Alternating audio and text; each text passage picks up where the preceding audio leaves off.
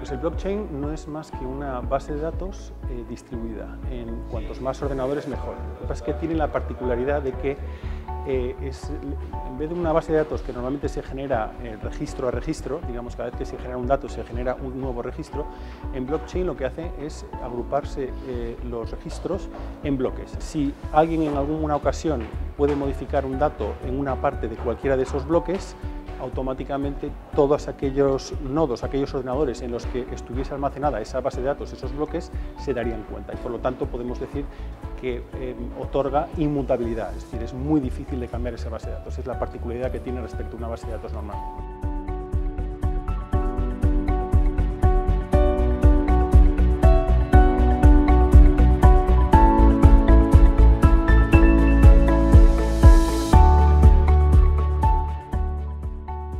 Digamos que son dos aspectos los que hacen una blockchain eh, eh, segura. Por una parte está sobre todo el grado de descentralización, es decir, el hecho de que esté distribuida en cuantos más ordenadores mejor, ¿vale?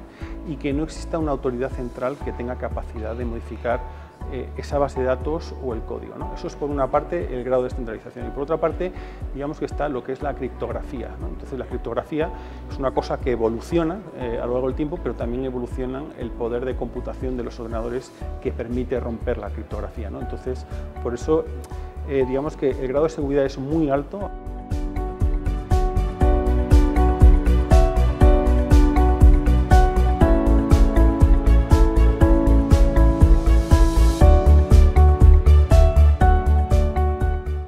Puedes eh, regular todo lo que aquellos lugares en los que Bitcoin toca al sistema financiero convencional, es decir, pues eh, tu banco, eh, una casa de cambio centralizada, una tienda en la que puedas comprar en bitcoins, pero tú no puedes regular bitcoins en sí porque son datos circulando por el ciberespacio. ¿no? Entonces, las regulaciones tienen que ser lo suficientemente inteligentes como para no ser demasiado restrictivas.